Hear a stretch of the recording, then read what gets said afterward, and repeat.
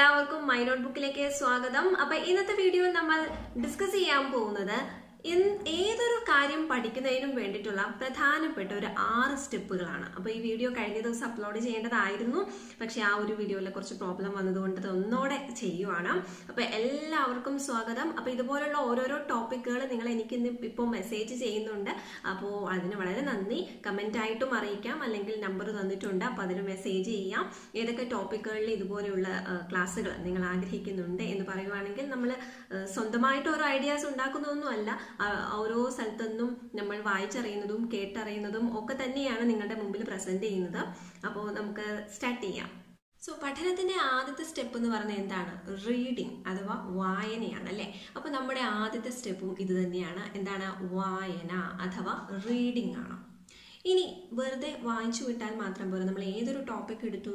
അപ്പോൾ അതിൽ ഞാൻ നേരത്തെ പറഞ്ഞിട്ടുണ്ട് ഫസ്റ്റ് റീഡിങ് സെക്കൻഡ് റീഡിങ് എന്നൊക്കെ പറഞ്ഞിട്ടുണ്ട്.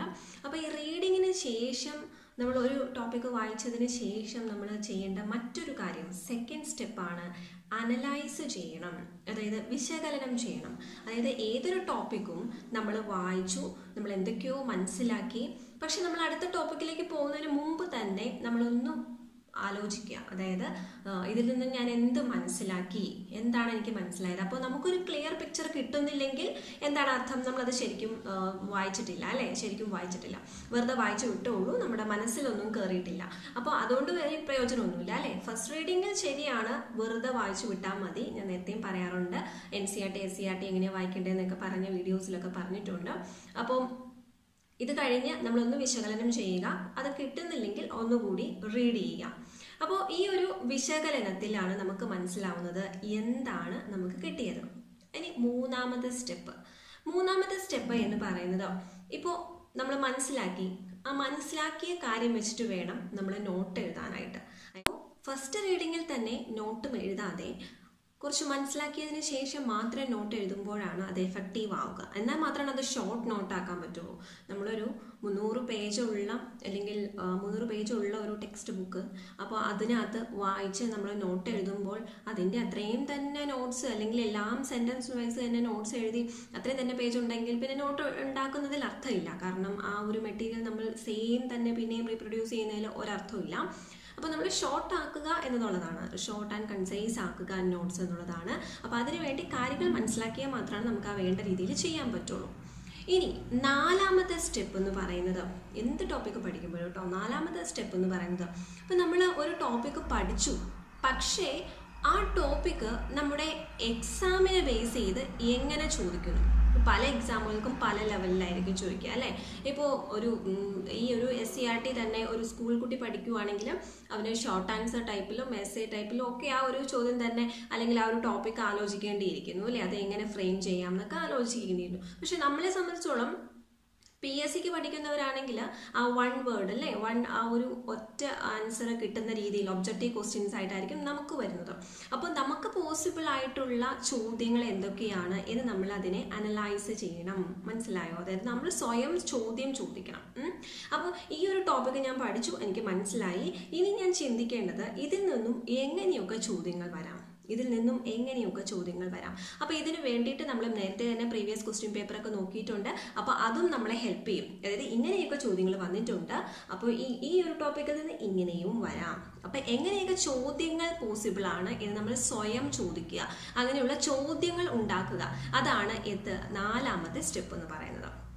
ഓക്കെ അപ്പൊ അങ്ങനെ ചോദ്യങ്ങൾ ഉണ്ടാക്കി ഇനി അഞ്ചാമത്തെ സ്റ്റെപ്പ് എന്ന് പറയുന്നത് നമ്മൾ പഠിച്ചു നമുക്കറിയാം നമ്മളത് റീറ്റെയിൻ ചെയ്യാനുള്ള ഒരു മാർഗം കഴിഞ്ഞ ദിവസം നമ്മൾ പറഞ്ഞ പോലെ റിവിഷൻ ആണ്. ഇനി മറ്റൊരു മാർഗം എന്ന് പറയുന്നത് മറ്റുള്ളവരെ പഠിപ്പിക്കുക. മറ്റുള്ളവരെ പഠിപ്പിക്കുക. ഇപ്പോൾ ഞാൻ ഈ പറഞ്ഞ പോലെ ടീച്ചിങ്ങിലായിരുന്നു ഏഴ് വർഷത്തോളം ഞാൻ എഞ്ചിനീയറിംഗ് കോളേജിൽ പഠിപ്പിക്കുമായിരുന്നു അപ്പോൾ ആ ഒരു ടീച്ചിങ് പ്രോസസ്സിൽ തന്നെ നമുക്ക് മനസ്സിലാവുന്നത്. നമ്മൾ സ്വയം ഒരു കാര്യം നമുക്ക് വേണ്ടി പഠിക്കുന്ന എടുക്കുന്നതിനേക്കാളും വളരെ ആത്മാർത്ഥതയോടുകൂടിയായിരിക്കും നമ്മൾ എന്ത് ചെയ്യുക മറ്റുള്ളവരെ പഠിപ്പിക്കാൻ വേണ്ടി എടുക്കുക അല്ലേ? അപ്പോൾ അത്രയും കെയർഫുൾ ആയിട്ടായിരിക്കും നമ്മൾ ഓരോന്നും പഠിക്കുക. കാരണം നമുക്കത് അവിടെ ചെന്ന് പറയുമ്പോൾ തെറ്റിപ്പോകരുത്. അതുപോലെ തന്നെ തെറ്റു പറഞ്ഞു കൊടുക്കരുത് എന്നുള്ളൊരു കാര്യം. പക്ഷെ പിന്നെ ഒരു കാര്യം നമ്മൾ അവിടെ ചെന്നിട്ട് ബബബ അടിക്കരുത്. അതായത് നമ്മൾ ക്ലിയർ ആയിരിക്കണം നമ്മുടെ കാര്യം പറയുമ്പോൾ അല്ലേ? അപ്പോൾ അതുപോലെ നമ്മൾ ഒരാളെ പഠിപ്പിക്കുക അല്ലെങ്കിൽ ഒരാളെ സഹായിക്കുക എന്ന് വേണമെങ്കിൽ പറയാം. നമ്മൾ ഒരാളെ പഠിപ്പിച്ചു കൊടുക്കുമ്പോൾ നമ്മൾ അയാളെ സഹായിക്കുകയാണ് ചെയ്യുന്നത് അല്ലേ? അപ്പോൾ നമ്മുടെ ഒരു റിവിഷനുമായി അവർക്ക് വേണമെങ്കിൽ അത് റിട്ടേൺ ചെയ്യണമെന്നുണ്ടെങ്കിൽ അവർ റിവിഷൻ ചെയ്തോട്ടെ. അപ്പോൾ ഒരാൾക്ക് പറഞ്ഞു കൊടുത്തുകൊണ്ട് അയ്യോ അവന് കൂടുതൽ മാർക്ക് കിട്ടിപ്പോയാലോ എനിക്ക് കിട്ടിയില്ലെങ്കിലോ? അങ്ങനെ വിചാരിക്കരുത്. വിദ്യ വിദ്യ പകർന്നു കൊടുക്കും തോറും ഇരട്ടിക്കേ ഉള്ളൂ എന്നാണല്ലോ. അപ്പോൾ അതുകൊണ്ട് അത് ഓർത്തുകൊണ്ട് മറ്റുള്ളവരെ പഠിപ്പിച്ചു കൊടുക്കുക മറ്റുള്ളവരെ സഹായിക്കുക. ആ സഹായിക്കുന്നതിന്റെ ആ ഒരു ഫലം നമുക്ക് കിട്ടും. അത് നമുക്ക് ആ ഒരു കോൺസെപ്റ്റ് വളരെ ക്ലിയർ ആയിട്ട് നമ്മുടെ മനസ്സിൽ കിടക്കുകയും ചെയ്യും. ഓക്കെ അപ്പോൾ പിന്നെ ഒരു കാര്യം ചെയ്യാനുള്ളത് റിവിഷൻ ആണ് അല്ലേ? നമ്മുടെ ഇപ്പൊ പറഞ്ഞ ഈ റിവിഷൻ ഇതൊരു റിവിഷൻ തന്നെയാണ്. ഒരു എക്സാം നടത്തിയാൽ അതും ഒരു റിവിഷൻ ആണ്. ഓക്കെ നമ്മളൊരു മോഡൽ ക്വസ്റ്റ്യൻ പേപ്പർ എടുത്തിട്ട് അത് വർക്കൗട്ട് ചെയ്താൽ അതും ഒരു റിവിഷൻ ആണ്. ആ ഒരു ടോപ്പിക്സ് ഒക്കെ നമ്മൾ റിവൈസ് ചെയ്യുന്നതോടെ ഓർക്കും അല്ലേ? ആ ഒരു ക്വസ്റ്റ്യൻസ് വരുമ്പോൾ അതുകൂടാതെ ഏറ്റവും അവസാനം നമുക്ക് ചെയ്യേണ്ട ഒരു കാര്യം എന്ന് പറയുന്നത് മൈക്രോ നോട്ട്സ് ഉണ്ടാക്കുക എന്നതാണ്. എന്താണ്? മൈക്രോ നോട്ട്സ് ഉണ്ടാക്കുക. എന്ന് വെച്ചാൽ വേറെ ഒന്നുമല്ല നമ്മൾ ആദ്യം ഉണ്ടാക്കിയേക്കുന്ന നോട്ട്സ് ചിലപ്പോൾ കുറച്ചും കൂടി വലുതായിരിക്കും.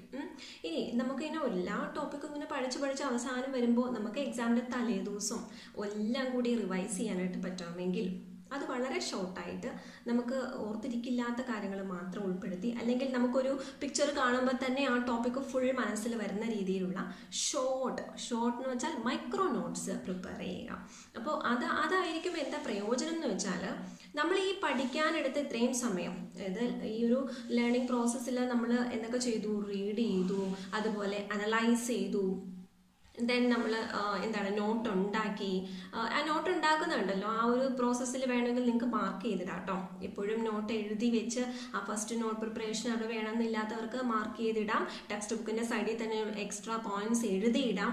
ഓക്കെ അങ്ങനെയും ചെയ്യാം. ആൻഡ് ദെൻ നമ്മൾ മറ്റുള്ളവർക്ക് പഠിപ്പിച്ചു കൊടുത്തു.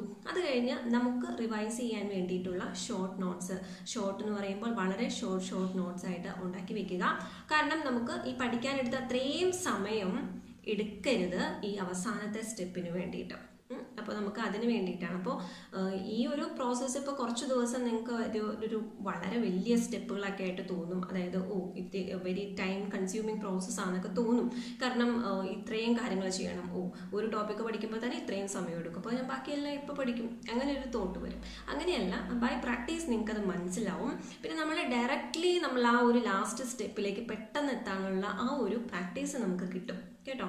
അപ്പോൾ അതുകൊണ്ട് തന്നെ ആരും ഇത് ട്രൈ ചെയ്യാതിരിക്കരുത് എന്ത് പഠിക്കുമ്പോഴും എന്താ മനസ്സിലാക്കിയത് എന്ന് ഒന്ന് നോക്കിയിട്ട് പോവാട്ടോ പിന്നെ N C R T S C R T പഠിക്കുന്ന ആ ഒരു രീതി നേരത്തെ ഞാൻ അക്കാദമിയിൽ ക്ലാസ്സിൽ ചെയ്തപ്പോൾ ഒരെണ്ണം ചെയ്തിരുന്നു. അതുപോലെ നമുക്കിതിലും ഒരെണ്ണം ഒരു വീഡിയോ ചെയ്യുന്നുണ്ട്. അപ്പോൾ കുറച്ചും കൂടി ഡീറ്റെയിൽ ആയിട്ട് റീഡിങ് അതുപോലെ ഫസ്റ്റ് റീഡിങ് സെക്കൻഡ് റീഡിങ് അങ്ങനെയുള്ള നോട്ട് മേക്കിംഗ് ഒക്കെ നമുക്ക് ഒന്നുകൂടെ ഡീറ്റെയിൽ ആയിട്ട് പറയാം. അപ്പോൾ ഈ ഒരു വീഡിയോ നിങ്ങൾക്ക് പ്രയോജനപ്പെട്ടു എന്ന് കരുതുന്നു.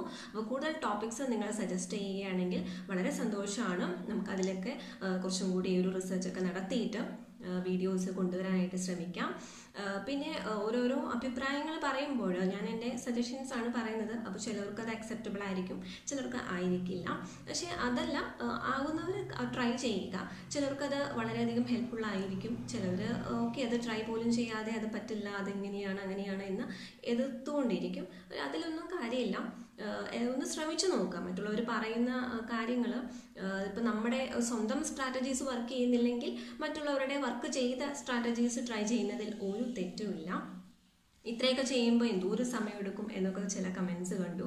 അതുപോലെ ഒരു ടോപ്പിക്ക് പഠിച്ചിട്ട് അതിന്റെ റിലേറ്റഡ് ടോപ്പിക്സ് പഠിക്കണം എന്നൊക്കെ പറയുമ്പോൾ ചിലർ പറഞ്ഞു ഇത്രയും ഈ ചെറിയ ടോപ്പിക്ക് പഠിക്കുമ്പോൾ തന്നെ ഇത്രയും സമയം എടുത്തു. അപ്പോൾ ഞാൻ അപ്പോൾ എപ്പോൾ തീർക്കാനാണ് സിലബസ് എന്നൊക്കെ ചോദിക്കുന്നു. അപ്പോൾ ഒന്ന് ഓർത്താൽ മതി. U P S C syllabus ഒക്കെ കണ്ടിട്ടില്ലേ? അപ്പോൾ U P S C syllabus എന്നൊക്കെ പറയുന്നത് എത്ര വാസ്റ്റ് ആയിട്ടാണ് കിടക്കുന്നത്. അപ്പോൾ ആ ഒരു കുട്ടികൾ പഠിച്ച് ആ ഒരു എക്സാം പാസ്സായി വരുന്നുണ്ട്. അപ്പോൾ മനുഷ്യന് പറ്റില്ലാത്ത കാര്യങ്ങളൊന്നും അല്ല ഇതൊന്നും. അപ്പോൾ അതുകൊണ്ട് അതൊന്നും പറ്റില്ല ഇത് ചെയ്യാൻ പറ്റില്ല അതൊന്നും വിചാരിക്കരുത്. വീഡിയോ കുറച്ച് ലോങ് ആയി പോയി എന്ന് തോന്നുന്നു. Thank you so much for watching this video മറ്റുള്ളവർക്കും ഷെയർ ചെയ്ത് കൊടുക്കുന്നു. പ്രതീക്ഷിക്കുന്നു. Thank you once again